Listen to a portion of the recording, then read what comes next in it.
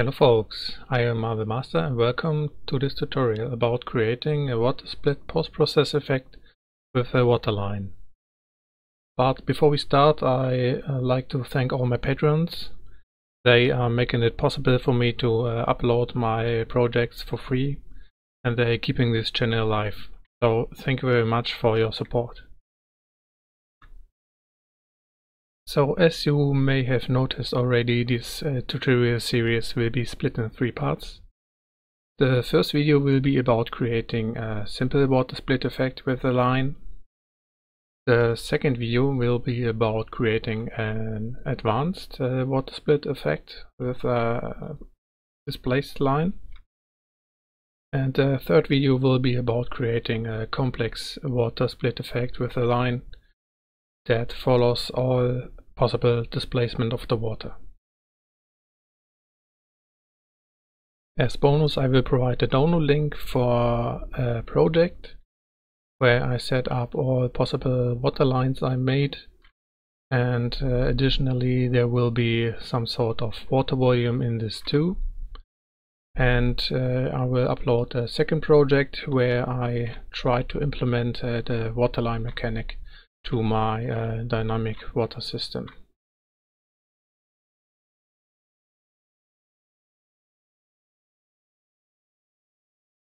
The download link will be below the video and it will lead to a Google Drive folder where I put in the both project files and an executable demo of uh, my waterline project. So let's jump right in creating a basic waterline. As you can see, I have already opened up my Unreal Engine 4 editor. I am on version 4.23 and I have already set up a very basic water material uh, that I can use uh, for my water line. So now the first thing I'm going to do is uh, right click and create a new folder. I'm calling it waterline. In here I'm gonna right click again and create a blueprint as an actor and I'm gonna call it waterline blueprint. So now let's open it up. I double click on it and at first I'm gonna add a component, a static mesh. And for that static mesh, mesh uh, I choose um, plane, shape plane. For the material of the plane, I choose my newly created water material. And for the collision of that plane, I want it to have no collision so we can walk through. So let's hit compile and minimize it and let's drag it into my world. A little bit higher and set up the scale to very big, like 40. Now when I play, you can see I have a very, very basic water material. And now to get the underwater cutoff effect, and let's do the following. Again, right click into the folder, choose materials and textures and click material function. I'm gonna call it get clip plane material function and open it up. The error message can be ignored. So what do we need here? I right click and type camera position. Again right click camera vector and again right click camera direction vector. And what else we need? We need a constant. I hold the button 1 and left click. This will create a constant. So now connect these in the right manner. Let's back out a line from the camera vector and type dot and connect the dot to the camera direction vector. Then from the constant drag out the line and type divide. And this divide is going to be connected to the dot 2 and then from the camera vector drag out the line and type multiply. This multiply is connected to the divide 2 and then multiply drag out the line and type add. And this will be added to the camera position. And all this goes into the output so now you may ask what this constant value may be. I can tell you it's a value of 10 for my case because it's a near clip plane. You can find what the value of the near clip plane is in your project by clicking on the project settings and type clip plane and you find a near clip plane here it's 10 for you it might be another value but for most times it's 10 okay now the get clip plane material function is done. Let's close it. Let's rename mine. Can't get around with it. Okay. Now the underwater split effect will be uh, post-process material. So let's right click into our content browser choose materials and textures and create a material. And I call this underwater split post process material. Let's open it up. And at first I'm gonna click on the material and on the left material domain I choose post process. Now I right click again and type call call material function. And on the left I can choose my material function and this is my newly created get clip plane material function. And from here I drag out the line and type mask and on the left I choose for mask B and deselect RNG and G. And then from mask I drag out a line and type uh, if. So for the A value I got my uh, get clip plane mask. And for the B value I drag out a line and type constant. And here we have to input a value. And this is basically the uh, height of our um, water. In my case when I click on my water blueprint it has a height of 190 so I type for the constant 190 and then for a greater than b, I drag out a line and type scene texture. Oops. Scene texture. And on the left for scene texture ID, I choose post process input 0. And now for the a equals b and a less than b input, I again drag out a line from the post process input 0 and type multiply. And this I will multiply with a color let's say a vector 4 and this color will be some sort of dark blue. Okay now I can connect this multiply to a equals b and a less than b and now this is ready to be connected to the emissive color and apply now this post-process material can be closed. And again in our water blueprint, we add another component. And this time it's a box, a box collision. And let's scale it a little up by box extent, I think it was 50. And now it fits our water mesh perfectly. And now we add another component and this will be our final post process. And when I click on the post process, I can search on the top here and I now search for material. And down here you find the post process materials. You can click on that uh, little arrow here and then on that plus and then choose asset reference. And here, where it writes none at the moment, I choose my underwater split post-process material. But before we finish this and hit compile, we again go to the top here in the post-process and type bounds. And we uncheck unbound and check use attach parent bound. This way the post process will only happen inside of the box so when we are overlapping the water. So now you can compile and minimize. And now what should happen whenever I go lower than the water level of 190 uh, underwater uh, should be blue.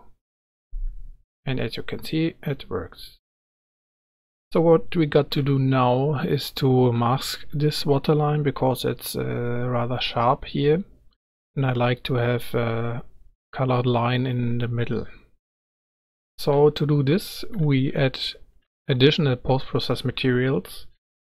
Let's begin by creating a line for this. So right click again in the folder and choose materials and textures and choose um, material and I call this waterline post-process material and open this up. So the next part is a little bit more difficult so just follow along. Click on the waterline post-process material on the left material domain, choose post-process. Then right click and call material function. On the left, choose get clip plane material function. Then connect this to a component mask and check B and uncheck RNG. Then we need a constant, so hold 1 and left click. This will be our water level again. So for this I choose 190, connect this to an add, and connect this add to another add, and the first add connect again to a subtract. What we need then is uh, our line thickness. This will be a constant 2.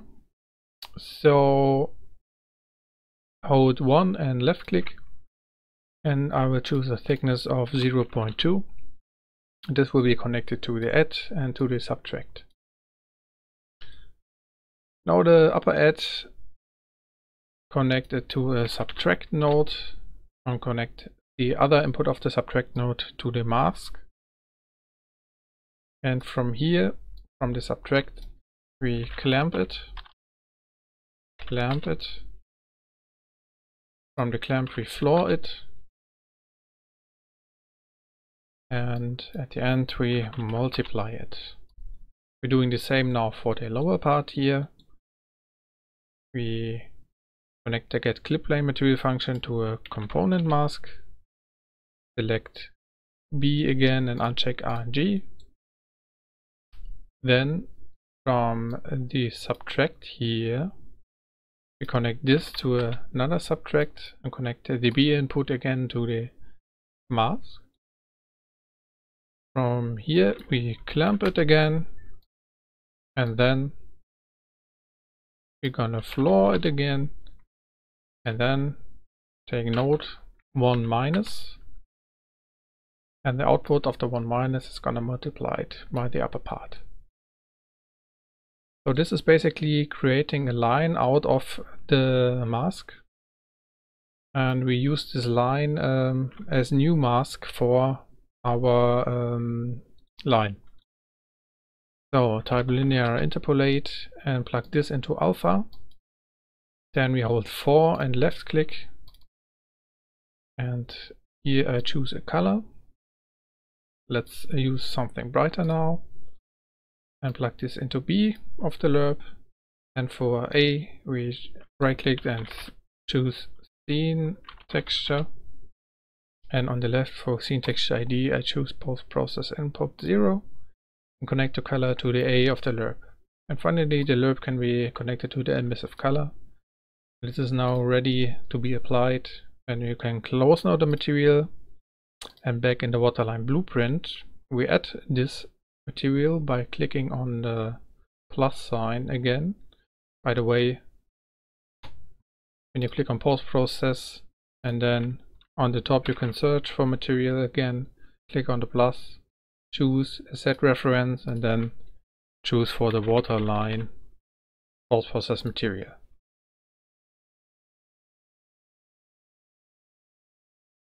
So now when I minimize this, there should be a line in the middle of our water split. As you can see, that is the case.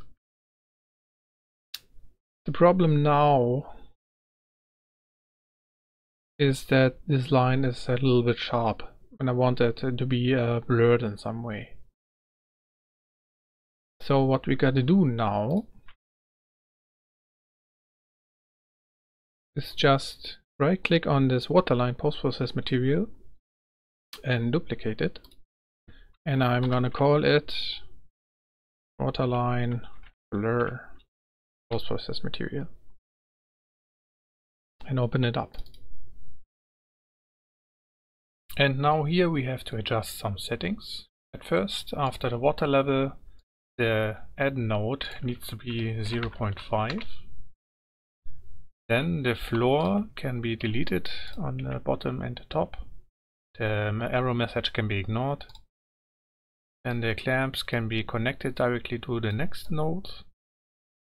Then after the last multiply, we type multiply again. And on the left we insert 3. And this multiply will be clamped again. And the output of the clamp we put into the alpha. So since this is our waterline blur material, we don't need the color here, but instead we need a blur function. So I was looking uh, on the internet for a blur function. I found something nice. Um, the good thing is it's basically just a text file. You can just copy and paste in here. And there you have it, a nice blur function. By the way, this text file will be linked uh, below the video too. So you can just copy and paste it in your project too if you want. Okay, then let's input the uh, output of our blur function to the uh, to the b of the lerp, and an error message appears. This is because of the lerp function has a vector 3 output, while the scene texture post process input 0 has a vector 4 output. So all we have to do is to Drag out the line and type component mask and select R, G and B on the left side and connect this to the A of the lerp. And just a little side note here. In the blur function I provide there is a radius parameter. Uh, a value of 10 looks good but might be taxing uh, on your system. So if you uh, notice a dip in uh, FPS uh, lower this value to 3 or 5. So now this is uh, ready to go, so I hit apply and close the material. And now in our blueprint again, I select uh, process and search on the top right for material. And here I click on the little plus sign, choose asset reference, and here search for my newly created waterline blur post process material. And uh, one important note here is that the order is um, special here because the blur material be on the very top, then the split material and then the waterline post-process material. So let's hit compile, close the blueprint. When I hit play, you'll see now I have a nicely blurred line between the bottom and the top. So this is basically it. Now you have a underwater split post-process effect with a blurred line in the middle. Uh, what you can do now, you can uh, adjust underwater post-process to your needs. Um, add some distortion underwater, change the color, change the color uh, depending on the depth under, underwater. And the same goes uh, for the waterline itself and uh, of course for the uh, water materials. And as I told you at the beginning, below the video there's a link to the project file I created for the waterline.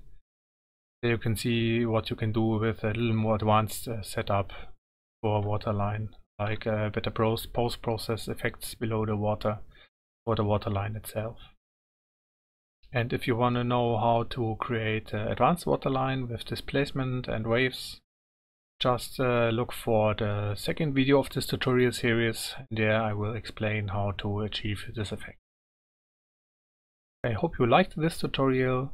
If so, click on the thumbs up button below and consider subscribing.